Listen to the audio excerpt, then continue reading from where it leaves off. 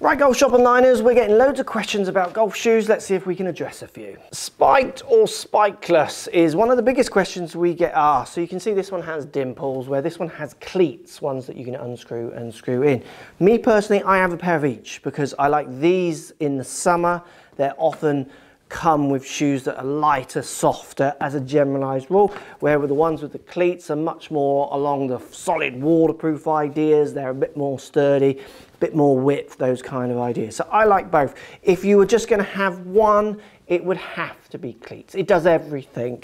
This, when it gets rainy and slippy, mm, it's not going to be as good. Now, what do you get for your money? Well, you get quality of brand. So FootJoy, you're going to maybe pay a little bit more subject to what shoe because they've got years and years of experience of making some of the best shoes in golf. You're going to get better design and stability. You're going to get better traction as a general on the bottom and you might get added things like BOA which allows you to fasten it those kind of ideas a bit more padding and again it's a generalization but you do get a more comfy sole and obviously the more you pay, you do get features like waterproof and then breathable waterproof as well. You get the technology. And that leads me on to BOA or non-BOA. So this is a lace up and this is a BOA fit. So you can see I click this out to loosen the shoe and then I can click it back in and tighten that shoe up and it gives a real grasp around the foot.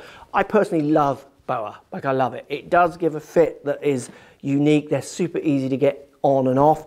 I've got plenty of lace up shoes as well because often your spikeless ones come a little bit more laced up and they're fine and obviously laces work for years but I do like BOA. And then a huge question we get asked here at the Golf Shop Online, you order a pair and they don't fit. Just remember when you're buying here at the Golf Shop Online, we've got our 60 days return policy. So use that, buy with confidence. So if they get them wrong, send them back. We can get you out the pair that fits you perfectly.